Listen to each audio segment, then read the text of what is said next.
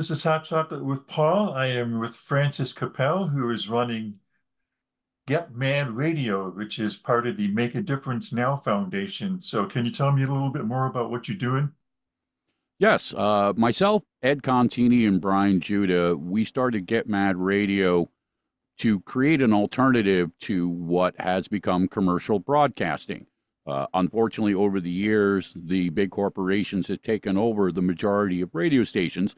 So local music and unsigned bands really don't have a place to get their music out there. You know this as a musician. Um, the industry is not exactly fair. It doesn't really factor in how music is originally created. I mean, the Beatles started as a you know, a, a German club band in the basements of the cavern. And it wasn't until later on that they actually had the popularity, had the record contracts and stuff. So we wanted to go back to an old dynamic of how radio used to be, focusing more on local music, focusing more on local elements. That's why we set up as a nonprofit to be able to support the other nonprofits, not just here in Rochester, Western New York, but wherever people are engaging. That's why we're also distributed on iHeartRadio because we wanted to give a presence to those bands, be it Blue Circle or Side Eye or Deb Magoni or a whole host of other really great musicians that we have here in the Rochester community. Other than the website or iHeartRadio, can it be heard over the air or any other locations? We are not on the FM band because of the FCC licensing, but you could, in theory, like if you have an Alexa or an Echo, you could say, blah, blah, listen to Get Mad Radio. Um, there's Google and Apple apps that you can get installed for, say, your phone or your car.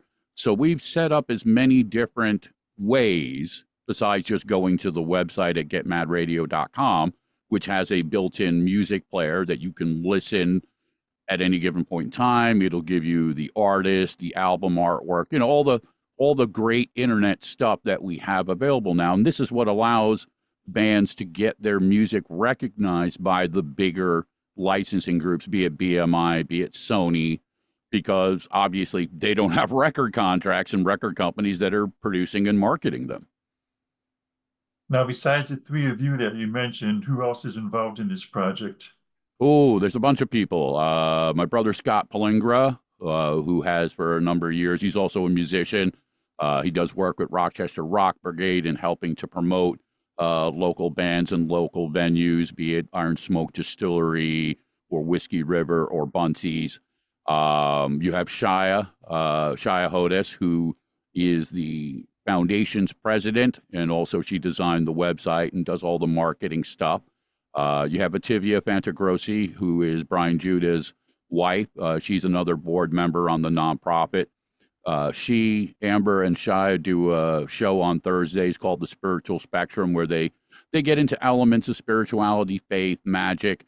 So we're trying to create a diverse programming field that not only focuses on music but focuses on the things that affect us. Be it you know a nonprofit, we're doing our September 7th show that Blue Circle is performing at to raise money for Autism Up, which is a local uh, group here that supports not just people with autism, but the families and the caretakers and the community in general with programs.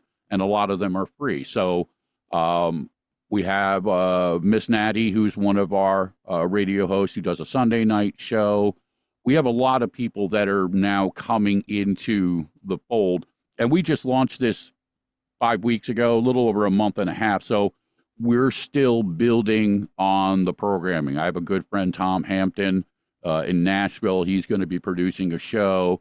We have others that are, as we speak, producing and getting elements that we will be releasing over the next month or two. Now, does the uh, Make a Difference Now Foundation uh, focus more on music, or I know you mentioned charities, or or what's what's the difference between the two of those, and how do they complement each other?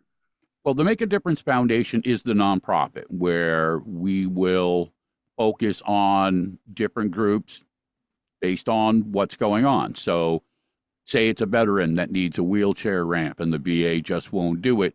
we'll organize something to help get the monies to do that. Or, as the earlier analogy, like with Autism Up, we're doing the September 7th show to raise money and awareness for their programs because a lot of people can't afford these programs. So they provide these services, a lot of them for free. So the foundation focuses on the helping other elements in the community. The radio station is the voice where we can promote, where we can market, where we can talk about different elements, just kind of like what you and I are doing and what we discussed in bringing your show to a broader audience to show people that we can do these things organically within our communities without it being just about the money. You know, like a lot of radio stations will charge you a hundred dollars, you know what I mean, for a 30 second spot.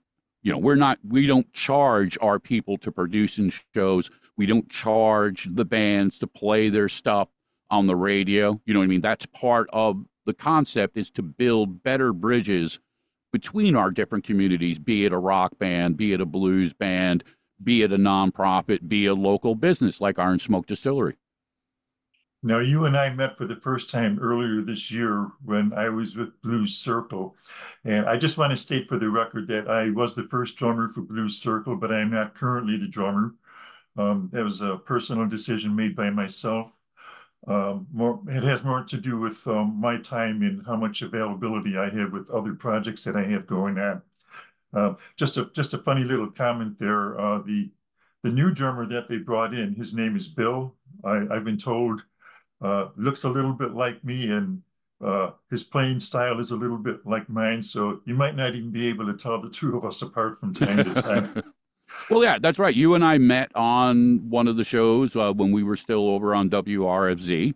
So uh, that that's so- you know again, and I read you know I, I saw what you had posted, and I understand it. You know what I mean. You're at a point now where you want to focus on the things that are closer to your heart. I mean, music is beautiful, but you've been doing it for a long time, like I have, and sometimes you Yeah. have to shift the balance for different elements. You know, and you also, uh, from what I understand, you officiate weddings. yes, I do. So you have a lot of things that you're involved with just besides being a drummer. Right, exactly.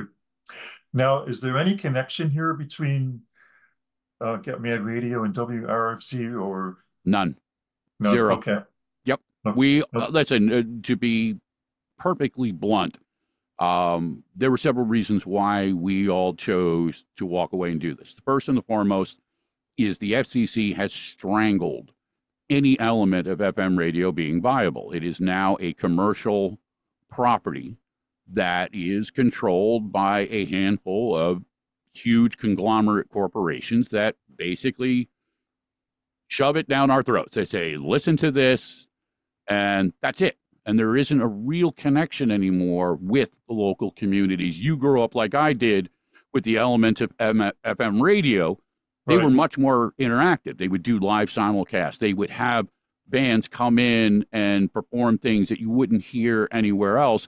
And it wasn't driven behind the corporate model because there really wasn't a corporate model for it.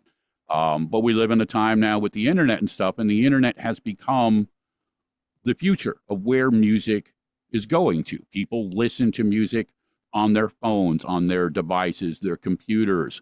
They don't want to be told what they can or can't listen to. So, as an example analogy, you used to be able to play George Carlin on the radio. You can't anymore, but we can. So, we want to bring back some of those elements, let people make their own choices.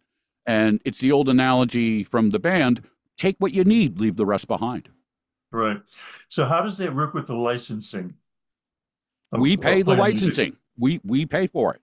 Okay. Um, there's no way around it these days. You know, the the big corporations have created a system, and understandably, artists want to get paid. So if you've spent all the time and effort and money to produce music to put it out there, they should get paid for their efforts. But so much of it is wrapped into the corporate model that most musicians don't get anything. You I'm sure you've seen and heard the stories. You know, you could get 10 million Spotify listens and you get a check for 12 cents. Right. You know what I mean? And it just, it's absolutely ridiculous. So we wanted, and we have the blessing, the luxury of, because of what we've done through the years and who we are, that we could create this station in a way that we're not going to charge artists. We're not going to charge you to bring a show to bring your message to people. We wanted it to be not only organic, but we wanted it to truly represent the best elements, not only of radio, but of, of human nature. You know, that's why we're a nonprofit. We're not getting paid to do this. Everything goes back out to support the community to provide this so people have something different to turn to. Right. So for the foundation, uh, do you do fundraising or how do you pay for your expenses? Yes, we do fundraising. We have underwriters. Um, we have groups that we work with that we have vetted and that, you know, obviously want to be engaged.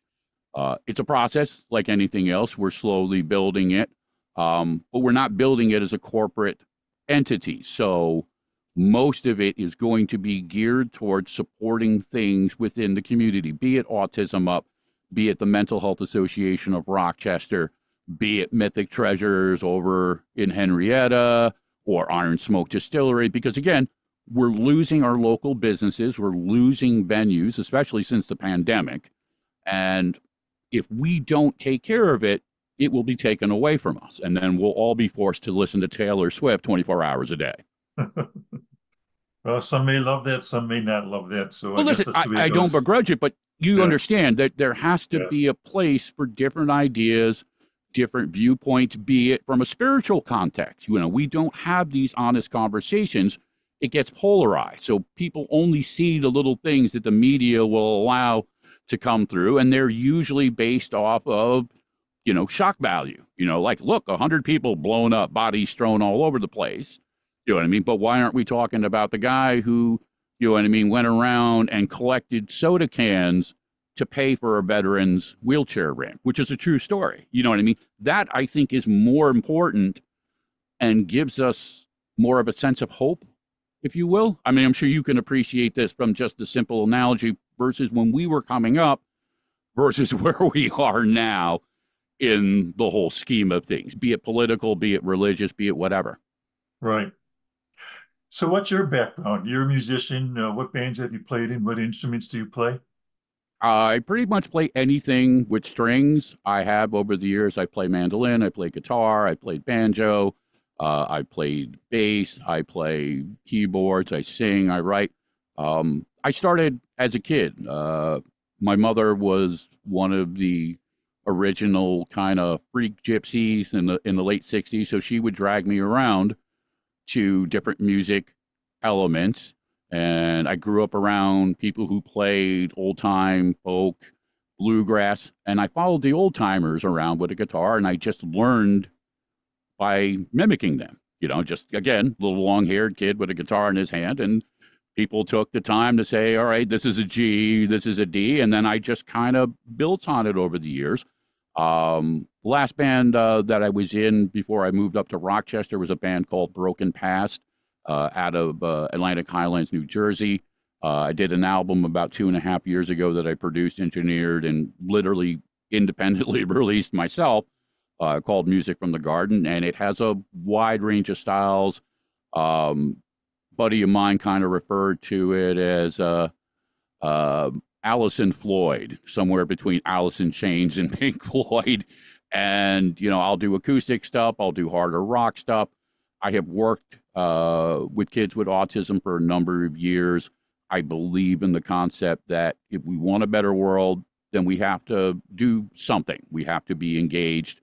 I believe in the concept of service work. You know, when you can do things for other people, that's how we really make a difference. It can't always be about money, it can't be about ego. It's just simply doing the right thing at the right time. So I, I spend a lot of time doing that. Um, I've also been very active with elements within uh, recovery. Uh, too many of our people we lose to addiction, depression, and all these other elements because, again, we don't have the conversations, we don't engage with each other enough to understand why somebody ends at this place. Not everybody wakes up in the morning and just decides hey, they want to be an alcoholic or they want to be a drug addict or they want to feel this way. And unfortunately, our system again is set up from a profit model. You know, there, there's no money in curing, but there's a lot of money in drawing people down treatment of symptoms. So we always want to throw drugs at people. Here, take this pill, you'll feel better. Side effects may include death. And, you know, we spin around these elements. You know, the opiate crisis is a great analogy. Um, just this Saturday, uh, Dean Lucas did the Lee Lucas Memorial Run, which was uh, the eighth year that they've done it.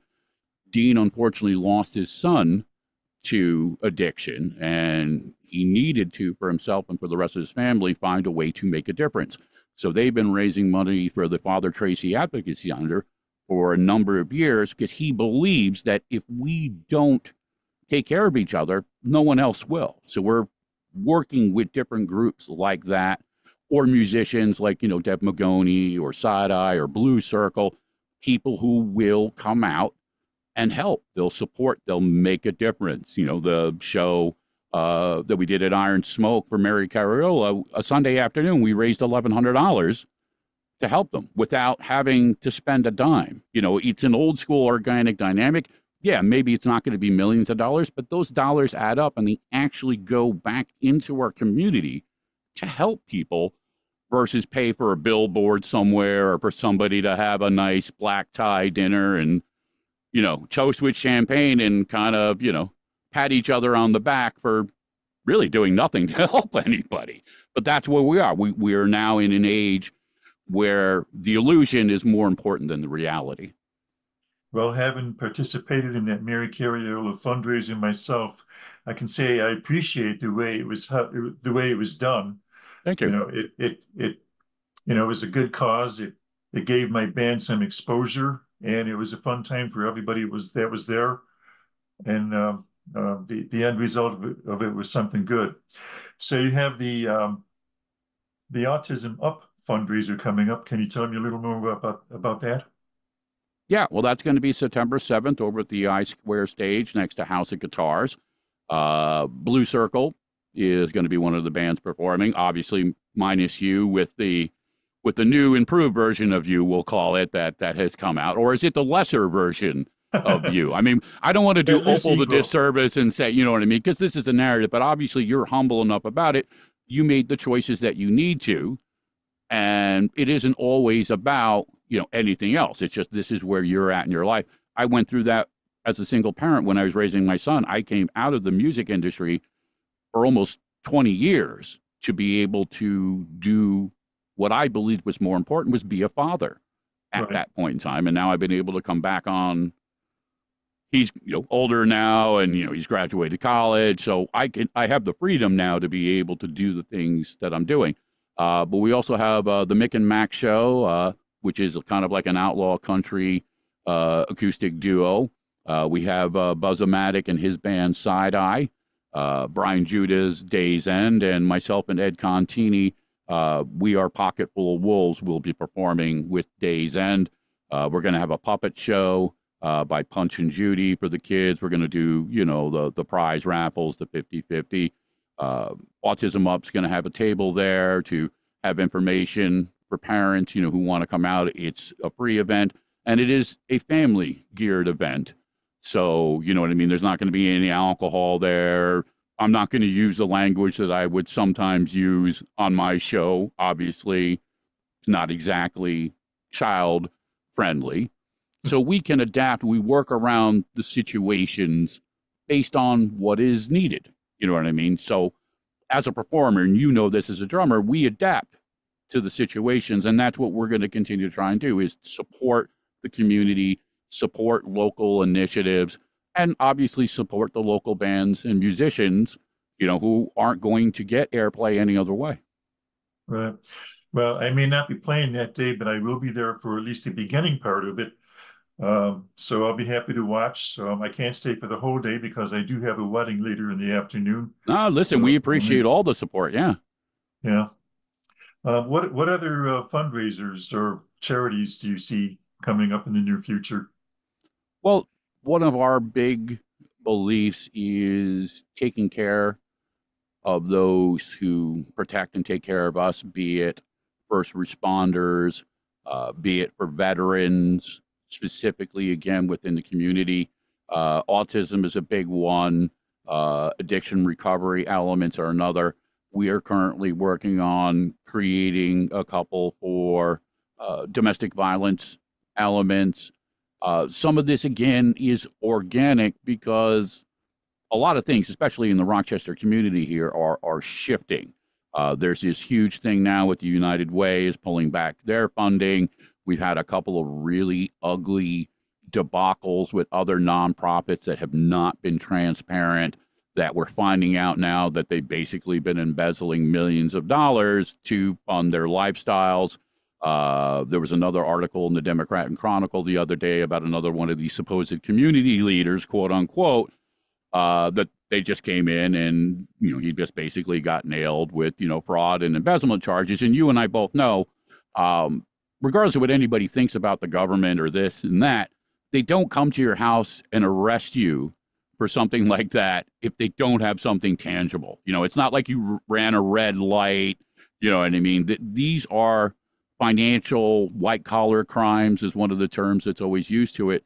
So we're going through a process of vetting. We want to make sure that anything that we do is actually going where it's supposed to go.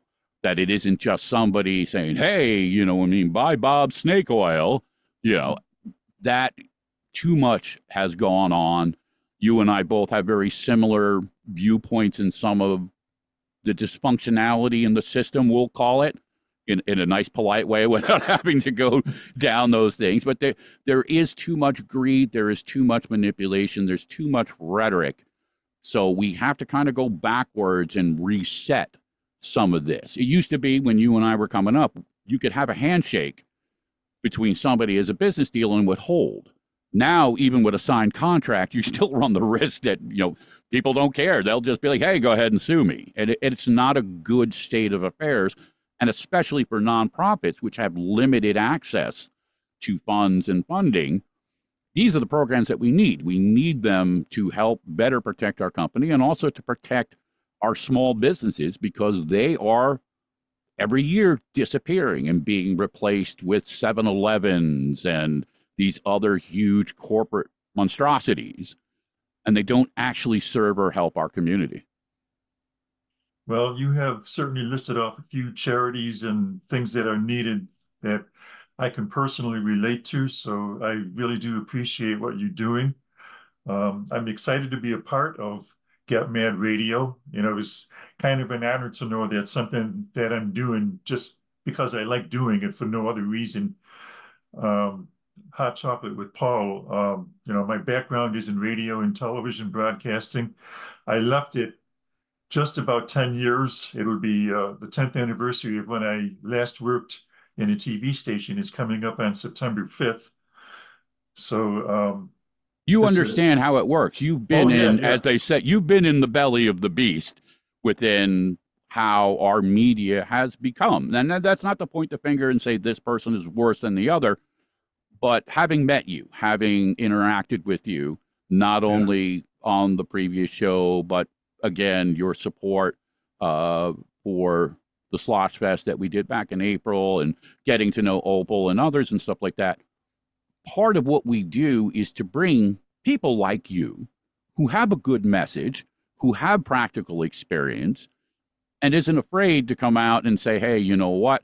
I'm going to talk about this or I'm going to talk about that. And, and you're going to, in your own way, try and make a difference. So strength in numbers. The more people that we can bring into that to get those messages out, the better off we're all going to be because that's what leading by example is. It isn't just talking about it, it's actually doing things to, and I'm going to use the tagline, make a difference. Right. Very nice. I'm proud. I'm proud to be a part of this. Thank you. Listen, we're really happy to have you as well too. Yeah, I appreciate it. Um, is there anything else that you feel we should know about Get Mad Radio? The biggest thing right now is is changing some of the perceptional elements, especially when it comes to being able to have a conversation, being able to interact, being able to listen to each other. We have too much polarization. We have too many people who want to capitalize on keeping us divided, keeping us locked into these imaginary bubbles of this, that, and the other thing. Don't get me wrong, certain things are what they are. A Nazi is still a Nazi, no matter what type of package you want to wrap around it. But we've kind of lost the ability to really kind of parse it to say, okay, you know what? This is acceptable, but this is not. We're making Uh, progress, but it, it's still, we've kind of gone backwards in some ways since the pandemic, and we're just beginning to fight our way back, I think. Yeah, I, I think that's I think that's a big problem with what's going in the world, especially in the United States right now, with so much political division. Oh, God, yeah. Um, one of the things that I keep saying is everybody's shouting, nobody's listening to each other. And if people would stop and listen to each other a little bit, maybe we would actually find some common ground. Well, listen, we have a lot of common ground. We have our children, our hopes, our future. Um, it's kind of hard to argue against laughter. It's hard to argue against everybody dancing and singing and having a great time. Why can't we capture that spirit and apply it toward the things? It doesn't matter how you choose to believe in a dynamic. You may believe in one thing, I may believe in another, but we both believe in helping people. So that should be the common ground, changing how we not only interact, but like you said, listening, trying to understand, hmm, why do you feel that way? I never thought about it that way. So there there is room to grow, but it's also about getting the message out there. That's half the battle because so much of this is driven from a corporate perspective. Who can be the loudest? Who can be the most insane? Because that's what gets the likes and the subscribers and the advertisers. Oh, wow, you know, you got 10 million people following you. Well, yeah, they're following you because you basically went up there and just did something so extreme that not unlike a slow motion car wreck, yeah, everybody comes out and they want to watch the debacle. And that's not helping us. It's the same analogy when you see these videos of somebody, you know, getting mugged or killed. You got 30 people standing around with a phone watching it happen, Yeah, and nobody's actually doing anything. That to me is is the purest definition of insanity. We have to get better at taking care of each other. We are now the elders of the tribe. We have to try, at least to the best of our ability, to shift the narrative before it gets worse. And it might have to get worse before it gets better. I mean, I'm a big student of history. Every civilization since the beginning of time has faced this particular dilemma. And Yeah. it's been history repeats itself. Right. It is the unfortunate catalyst that has destroyed every civilization, you know, be it the Mayans, be it the Romans, be it the Third Reich, be it whatever analogy you want to come from. It always comes back to the same thing. You have a small section of people who manipulate the narrative, manipulate the word, manipulate the people, and then the whole bottom falls out and then we're the ones that have to come in, pick up the mess, and start it all over again. Right. Well, I want to thank you for this conversation. Uh, like I said, I'm I'm happy to be a part of this, and I want to Yeah, no, listen, thank you for having me on. We'll have you come back on, and we'll have a a bit of a more unfiltered conversation. That's one of the beautiful things about what we're doing. we don't believe in censorship. Don't get me wrong. You can't scream fire in a crowded theater analogy, but we need to have a little bit more direct honesty. I'm a big fan of George Carlin. He speaks in a way that, yes, some of those words can, in of themselves, be offensive, but he believes in the power. He believed in the power of words, and it's about context. We call it the Contini context. Huh. Everything is relevant to the variables. So just because you're looking at it a particular way based on your experiences doesn't make you wrong to the next person because it's unique to you. And that's, I think, part of the trick in being able to actually, as you said, listen to other people, understand other people, and hopefully empathize with other people to find a better path forward. Right. All right. Well, thank you very much. Thank you again.